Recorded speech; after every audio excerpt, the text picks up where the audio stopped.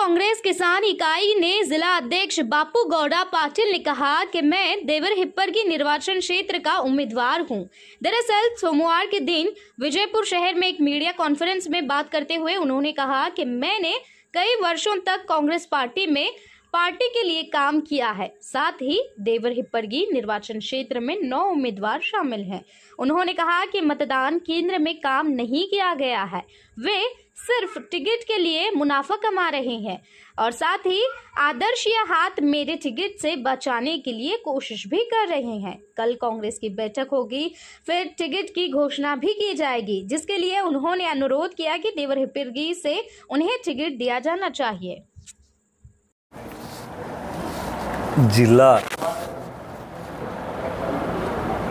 ಗೌರವಾನ್ವಿತ ಮಾಧ್ಯಮ electronic media ಮತ್ತು ಪ್ರೆಸ್ ಮೀಡಿಯಾದ ಎಲ್ಲ ಸದಸ್ಯರಿಗೂ ಕೂಡ ನನ್ನ ಹಾರ್ದಿಕ ಸ್ವಾಗತವನ್ನು ಬಯಸುತ್ತಾ, ನಾನು ಬಾಪುಗೌಡ, ಮಲ್ಲನಗೌಡ ಪಾಟೀಲ್, ಸಾಕಿನ್ ಒಡವಡ್ಗಿ, ದೇವ್ರಿಪ್ರಿಗಿ ಮತಕ್ಷೇತ್ರದ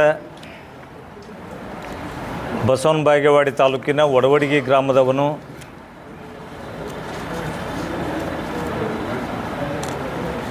ದೇವರುಪಿ ಕ್ಷೇತ್ರದ ಪ್ರಬಲ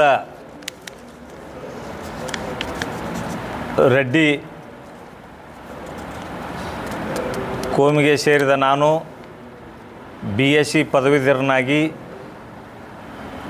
ಎರಡು ಸಾವಿರ ಐದರಲ್ಲಿ ಸಾಮಾಜಿಕ ಸೇವೆಯ ಮೂಲಕ ಎರಡು ಸಾವಿರ ಐದರಲ್ಲಿ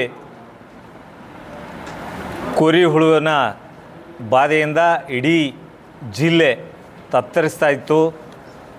ಸೂರ್ಯಪಾನ ಬೆಳೆ ಹಾಳಾಗಿತ್ತು. ಆ ಒಂದು ಸಮಯದಲ್ಲಿ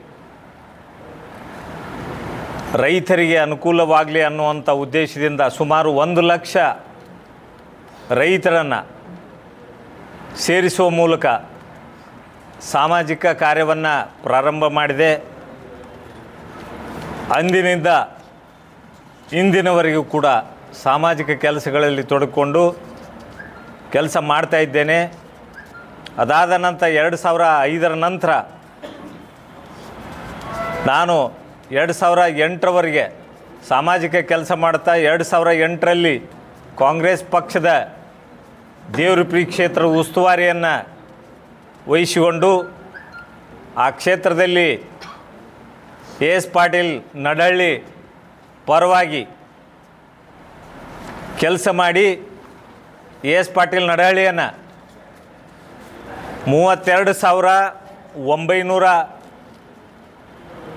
ಎಂಬತ್ತೇಳು ಮತಗಳ ಅಂತರದಿಂದ ಆಗಿನ ರೈಲ್ವೆ ಮಂತ್ರಿಯಾಗಿದ್ದಂಥ ಬಸನಗೌಡ ಪಾಟೀಲ್ ಯತ್ನಾಳ್ ಅವರನ್ನು ದೇವರಿಪ್ರಿಗೆಯಲ್ಲಿ ಸೋಲಿಸುವ ಮೂಲಕ ಎಸ್ ಪಾಟೀಲ್ ನಡಹಳ್ಳಿಯನ್ನು ಆರಿಸಿ ತರಲಿಕ್ಕೆ ಪ್ರಮುಖ ಕಾರಣ ನಾನೇ ಅಂತೇಳಿ ನಾ ಹೇಳೋಕ್ಕಿಂತ ಮುಂಚೆ ಇಡೀ ಈ ಎಂಬತ್ತೇಳು ಮತಗಳ ಅಂತರದಿಂದ ಆಗಿನ ರೈಲ್ವೆ ಮಂತ್ರಿಯಾಗಿದ್ದಂಥ ಬಸನಗೌಡ ಪಾಟೀಲ್ ಯತ್ನಾಳ್ ಅವರನ್ನು ದೇವರಿಪ್ರಿಗೆಯಲ್ಲಿ ಸೋಲಿಸುವ ಮೂಲಕ ಎಸ್ ಪಾಟೀಲ್ ನಡಹಳ್ಳಿಯನ್ನು ಆರಿಸಿ ತರಲಿಕ್ಕೆ ಪ್ರಮುಖ ಕಾರಣ ನಾನೇ ಅಂತೇಳಿ ನಾ ಹೇಳೋಕ್ಕಿಂತ ಮುಂಚೆ ಇಡೀ ಈ ನಮ್ಮ ಜಿಲ್ಲೆಯಲ್ಲಿ ಆಗಲಿ ಅಥವಾ ನಮ್ಮ ಮತಕ್ಷೇತ್ರದಲ್ಲಿ ಆಗಲಿ ಮತ್ತು ಮೀಡಿಯಾ ಬಾಂಧವರಿಗೆ.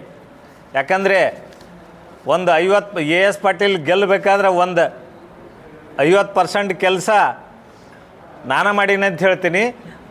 ಉಳಿದಿದ್ದು ಒಂದು ಇಪ್ಪತ್ತೈದರಿಂದ ಮೂವತ್ತು ಪರ್ಸೆಂಟ್ ಅದು ಮೀಡಿಯಾ ಅವ್ರನ್ನ.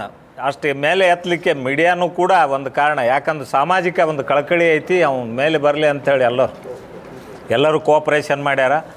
ಅಲ್ಲಿಂದ ಇಲ್ಲಿವರೆಗೂ ಕೂಡ ಮೀಡಿಯಾದವರು ನಮಗೆ ಎಲ್ಲ ರೀತಿಯಲ್ಲಿ ಯಾವಾಗಲೂ ಸಹಕಾರದಿಂದ ಇದ್ದಾರೆ ಒಳ್ಳೆಯ ಕೆಲಸಕ್ಕೆ ಎಲ್ಲರೂ ಸಹಕಾರ ಮಾಡಿದ್ದಾರೆ ಅದಕ್ಕಾಗಿ ನಾನು ಮಾಡಿದಂಥ ಕೆಲಸ ಎಲ್ಲ ಒಂದು ಮೀಡಿಯಾ ಬಾಂಧವರಿಗೆ ಮಾಧ್ಯಮದವರಿಗೆಲ್ಲ ಗೊತ್ತಿದೆ. ಪುನಃ ನಾನು ಎ ಎಸ್ ಪಾಟೀಲ್ ನಡಳ್ಳಿ ನಡಳ್ಳಿ ಅವರ ಚುನಾವಣೆಯಲ್ಲಿ ಜನರಿಗೊಂದು ಆಶ್ವಾಸನೆ ಕೊಟ್ಟಿದ್ದು. ಏನಂತ? ಒಂದು ಸಲ ಗೆಲ್ಲಿಸ್ಕೊಟ್ಟಿದ್ದೆ, ಆದರೆ ನಿಮ್ಮ ಮನೆ ಮನೆಗೆ ಸರ್ಕಾರದ ಯೋಜನೆಗಳನ್ನು ನಾನು ಮುಟ್ಟಿಸುವಂಥ ಕೆಲಸ ಮಾಡ್ತೀನಿ ಅಂತ. ಎರಡು ಸಾವಿರ ಎಂಟರಾಗ ಎಸ್ ಪಾಟೀಲ್ನ ಗೆಲ್ಲಿಸಿದರು. ಗೆಲ್ಲಿಸಿದ ಮೇಲೆ ನಾನು ಮನೆ ಮನೆ ಹೋಗುವ ಮೂಲಕ ಸರ್ಕಾರಿ ಯೋಜನೆಗಳು ಏನದಾವ? ವೃದ್ಧಾಪ್ಯ ವೇತನ, ಸಂಧ್ಯಾ ಸುರಕ್ಷಾ, ವಿಧವಾ ವೇತನ ಅಂಗವಿಕಲರು ಮತ್ತು ರೇಷನ್ ಕಾರ್ಡ್ ಇವೆಲ್ಲ ಯೋಜನೆಗಳನ್ನು ಪ್ರತಿ ಊರಲ್ಲಿ ಟೈಮ್ ಹಾಕ್ಕೊಂಡು ಆ ಊರಿಗೆ ಅಧಿಕಾರಿಗಳನ್ನು ಕರ್ಕೊಂಡು ಹೋಗಿ ಪ್ರತಿ ಹಳ್ಳಿಯಲ್ಲಿ ಕೂಡ ಅವು ಸಾಮ, ಒಂದು ಏನು ಇವು ಸರ್ಕಾರದ ಯೋಜನೆಗಳನ್ನು ಮುಟ್ಟಿಸುವಂಥ ಕೆಲಸ ನಾನು ಮಾಡಿದೆ.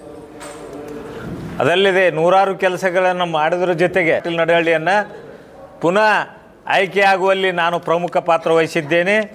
ಇದಲ್ಲದೆ ಎಸ್ ಆರ್ ಪಾಟೀಲ್ ಬಾಡಗಂಡಿಯವರು ಅವ್ರನ್ನು ಕೂಡ ಮೂರು ಚುನಾವಣೆಯಲ್ಲಿ, ಅವರ ಮೂರು ಎಂ ಎಲ್ ಸಿ ಚುನಾವಣೆಯಲ್ಲಿ ನಾನು ಆ ಕ್ಷೇತ್ರದ ಉಸ್ತುವಾರಿಯನ್ನು ವಹಿಸಿಕೊಂಡು ಅವರಿಗೆ ಕೆಲಸ ಮಾಡಿದ್ದೇನೆ.